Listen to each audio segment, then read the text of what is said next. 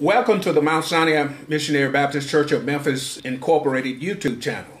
We're so delighted that you joined us uh, today, and we pray that you're having a Merry Christmas and that your year in the future will be prosperous and that you will rejoice all year long. It's possible. Uh, let us pray. Our Heavenly Father, thank you so much for this day, and we pray that you will uh, guide us through the recording of this production and that it will be a blessing to somebody. Help us to learn that uh, important lesson of being focused and staying focused on uh, as you seek to guide us throughout our lives that we can reach the blessings that you have in store for us. In Jesus' name we pray. Amen. Our text for today is uh, found in Matthew's chapter 2, verse 9 through 11. Matthew's chapter 2, verse 9 through 11, and it reads uh, When they had heard the king, they departed, and lo, the star which they saw in the east went before them, till it came and stood over where the young child was. When they saw the star, they rejoiced exceedingly with great joy. And when they were come into the house, they saw the young child with Mary his mother, and fell down and worshipped him. And when they had opened their treasures, they presented unto him gifts of gold, frankincense, and myrrh. Uh, our subject for today is focus. Focus. You Got to stay focused in life, or else you miss so much. Everybody cannot stay focused, but it's important that we individually and we as a, a, a, as God's people will learn the importance of staying focused. Now, I got uh, two little stories that I want to share before we really get into it, and I'm not going to take long. Uh, I learned the importance of focus when I was a teenager, and I haven't always been good at it. I'm just getting back to where I'm seeking to put to practice the importance of, fo- of focusing so that I can reach the goals and reach the destinations that I set out for. In uh, as a teenager, I played baseball in Helena, Arkansas. I, I, don't know if I introduced my wife, Lamona. She's from Helena. I'm from Helena, and this is our prompt focus. Uh, but playing baseball, one time in my life, I hit three home runs, and the, the what I contribute that to is the grace of God and how he showed me how to focus. Focus, first of all, my body, all of me, on what I was doing. With the bat in my hand, focus, I focused on uh, uh, getting my body, the bat, and the ball as the pitcher threw it to me or towards me to focus on that ball. Everything was focused on the ball, and I swung and hit at the right time and over the fence the ball the ball went. Three times in one game, the only time I ever hit home runs. And I played baseball for years, but it would it, I contributed to focus. And now I I play golf. I don't play baseball anymore, but I play golf, and I'm I'm, I'm focusing on uh, the idea that if you keep the ball in the fairway, it will take you to the green. And on the green, it's easy to hit the ball in the hole or cup. So focus is very important. Focus in life. If you want to achieve your goals in life, you got to learn to focus. If you want to reach the destinations in life that you want to, you got to learn to focus. In our text, we have three men, magi, that uh, set out from on a journey to find the Lord, the Messiah, Jesus, who was a baby at the time. But now you got to understand that Jesus, even though he was in the form of a baby, he was able as an adult to say, Before uh, a- a- uh, Abraham was, I am. So Jesus was in the beginning, he was the Word, the, the, the, the expressed Word of God, the Logos and there's so much power in the Logos, the breathed word of God. And if we would allow him to guide us through his word, then it would be much easier for us to reach our destinations, to reach the, the places in, in all forms of life exercise, our physical uh, well being, our financial well being, our relationship. Uh, all would fall into place if we would learn to focus. And God's word is what we need to focus. And the Holy Spirit has been assigned to help us to stay focused in life by focusing and understanding God's word. Everybody's not able to do that. The king, for instance, was interested in finding Jesus, but he did not know he did not know where to look. But these magi's who in this modern day would be called astrologists. You, you, oh, don't act like you don't know what I'm talking about. Astrologers, we got some Sagittarius, some Aquarius, and some some uh, Virgos and some Leos and and all of that uh, in the audience today. And you're watching me now, acting like you're not into the the the zodiac signs and stuff.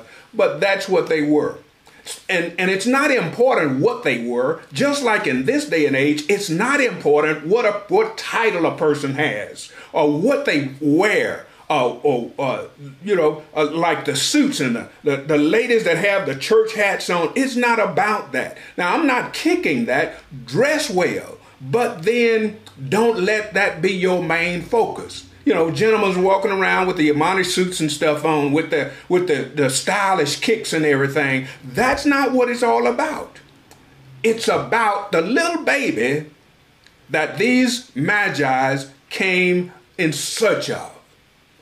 Now, uh, three th- three things that we learned in in these three texts. The first one is followship. The second one is uh, uh, along with followship, you must have fellowship. And then the third one is worship. So, followship, fellowship, and worship will help us to stay focused. Now, these uh, three men, they left from where they were, headed to where they didn't know where they were going. They were just following the star. The important thing that we learn from them is that you can't look all around. You can't look at everybody that's around you. You can't be focused on people. You can't be focused on what's going on. Even in our country, even in this situation where we're faced with a pandemic, even though they've got uh, uh, uh, uh, uh vaccine that is now being uh, spread throughout the United States. You really can't focus on that. You've got to know the right place to focus. King David focused on the hill from whence cometh his help. He says, My help comes from the Lord. Even though he was looking at the hill, he knew that his help came from the Lord. And if we would learn to focus right, these three magi's focused on the star. And the star took them to where they wanted to go. They did not know when they reached the destination until they noticed that the star stopped. Now, you have to recognize where the star was. It was in view of everybody, but everybody couldn't see it because everybody didn't know how to focus. These magi's understood that the star that they were to follow was up. And in this pandemic age, you've got to learn to look up and live stay focused on the right thing because the Lord will see us through this. Uh, he's more powerful than any vaccine. Take the vaccine, they are so helpful, but remember to stay focused on the Lord.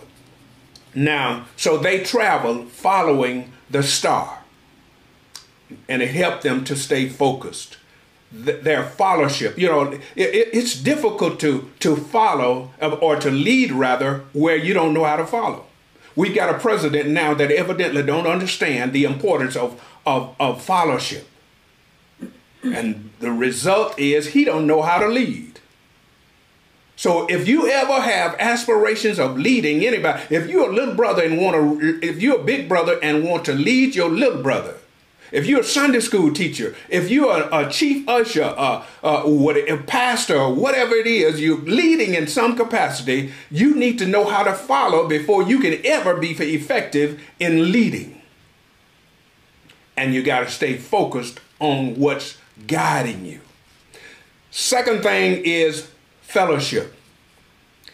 Fellowship is found in the fact that they brought gifts. Now, the text doesn't indicate it, but I believe that each individual magi had their own gift. One had the gold, one had the frankincense, and one had the myrrh. And one was no more important than the other. And we've got to understand that what's in us is not what's in it. What we have is not the important thing if we learn how to stay focused. By staying focused, we understand that Jesus is the main thing. He's the plain thing, but he's also the main thing. And we've got to learn as a people to learn to focus on the plain thing that will take us to the main thing instead of looking for something big or something important or whatnot. Or even trying to make ourselves important. Uh, now, from uh, they they brought and presented their gifts. All of them. They the the, the focus is not on the gifts, but it's on uh, who they were bringing the gifts to. In essence, to Jesus, and they presented it to. But they found Mary and the baby, and with them three, it was more than you know. God says, "Where two or three are gathered together in My name, there will I be in the midst." There was five and one of them was Jesus, kind of like the three Hebrew boys, Shadrach, Meshach, and Abednego, that found themselves in the fiery furnace. And in the with them, right there in the fiery furnace, Jesus Christ showed up, and even the enemy was able to recognize him. Uh, was able to recognize Jesus with his people.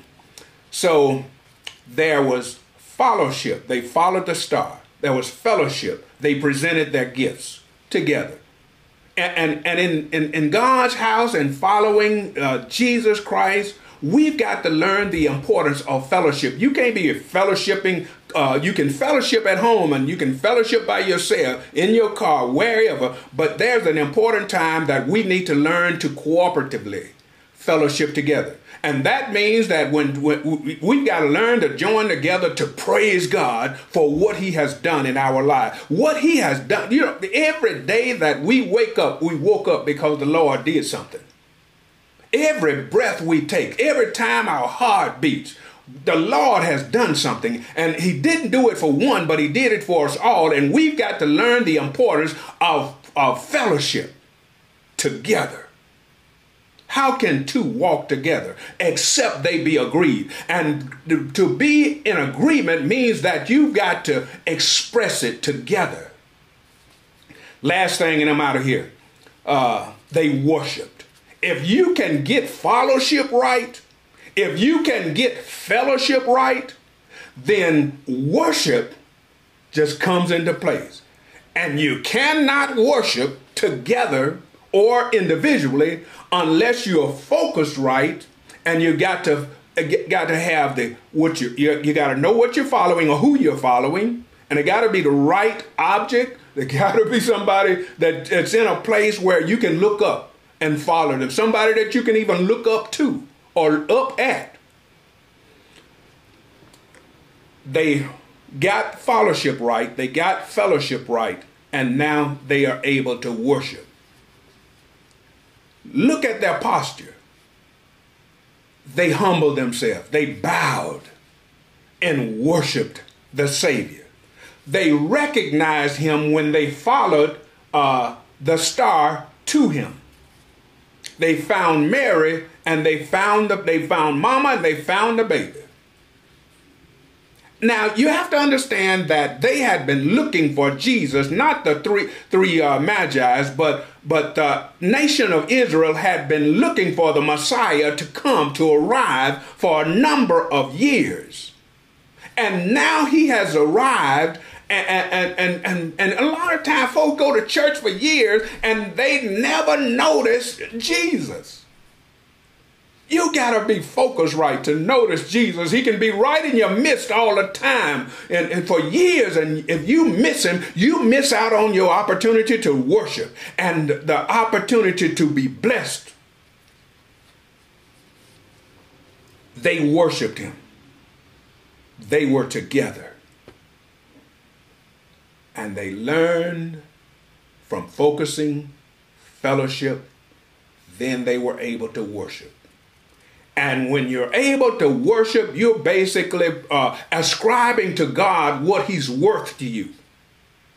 And I don't know about anybody else, but you might be tired of hearing me say it. But every time you tune in to the Mount Sinai Missionary Baptist Church of Memphis Incorporated YouTube channel, most likely you're going to hear me say one Friday on an old rugged cross. He hung, bled, and he died. He did that for me, and he did it for you. And he didn't hesitate about it. He was focused. He said, For this purpose came I into the world. And he achieved his goal. He met his purpose in life. And now he's sitting at the right hand of the Father, making intercessions for us. Because he t- stayed focused. In the year to come, learn how to stay focused. Get your followship right. Get your fellowship right.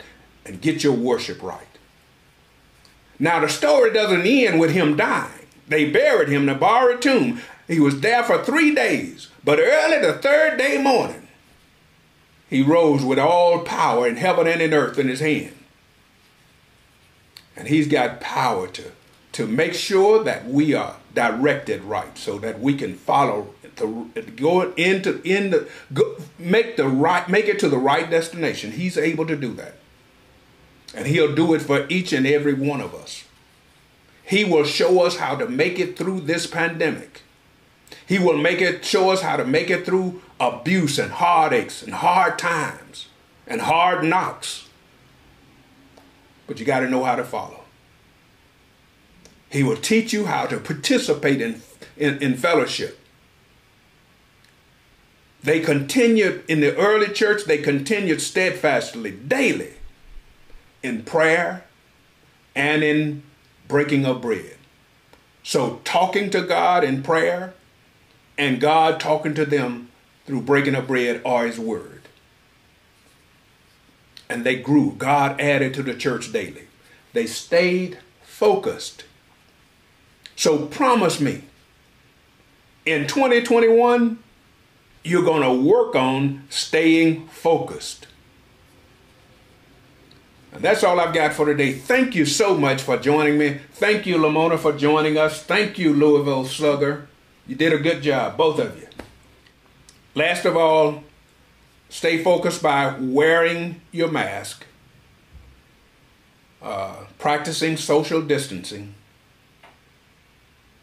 and practicing uh, good sanitary habits by washing your hands and whatnot. And the Lord will guide us safely through this pandemic. Let us pray. Our Heavenly Father, thank you so much for your word today. We pray that you'd give the increase and somebody will be blessed in the form of uh, being able to stay focused. That they'll focus on the plain thing, which is the main thing. Your son, that little baby that was in the manger, that your star that you put in the sky guided them to. And you're so good at bringing people together in the right place at the right time to, rec- to receive blessings from you. And we thank you. And we're anticipating that you're going to continue to do that in our lives. In Jesus' name we pray.